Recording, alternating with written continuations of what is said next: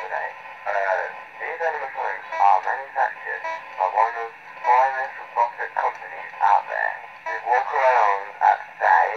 Speaking of, look at what we found lying around in the back. Cameras. It's pretty damn old though, so the colours that you see in the camera would be dark. Also,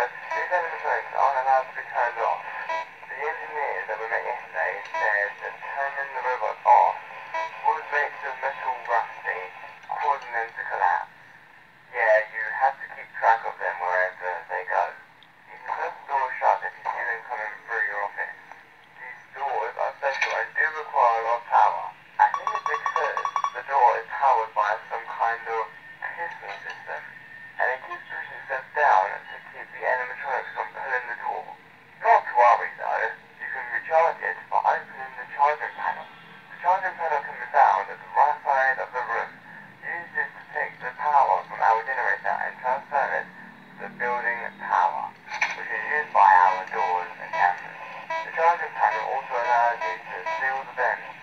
possibly one and possibly two.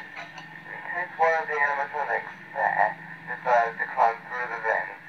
Now the rest of the animatronics may use the elevator to go down. You can control where the elevator is by the camera. To switch over,